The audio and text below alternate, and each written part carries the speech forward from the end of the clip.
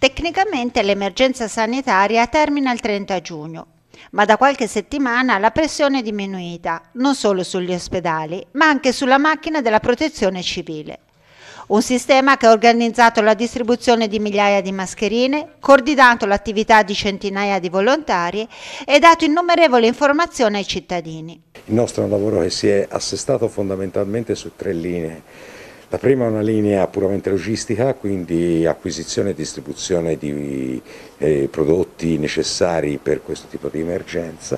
La seconda è una linea di coordinamento fra tutte le varie istituzioni che hanno collaborato e che stanno collaborando costantemente alla gestione dell'emergenza Covid e la terza, è per ultima, ma non, non ultima, è il cercare di dare il massimo delle informazioni possibili e quanto più corrette possibili alla cittadinanza che ce le chiedeva. Perno di tutto è stata la logistica con la distribuzione delle mascherine, attività ancora in corso. Ci vengono fornite in più volte, con numeri decisamente inferiori, e che purtroppo ci ha costretto, purtroppo meno male, bene o male, a mettere in campo tutte le mascherine che comunque il comune di, di Prato aveva ricevuto in donazione da diverse istituzioni, tutte ovviamente a livello comunitario o extracomunitario, ma a livello istituzionale.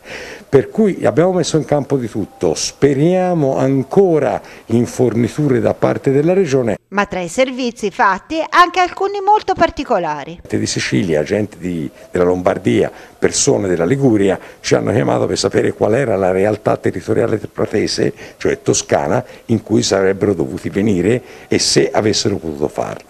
Eh, siamo stati coinvolti nella distribuzione di materiale didattico dalla scuola agli alunni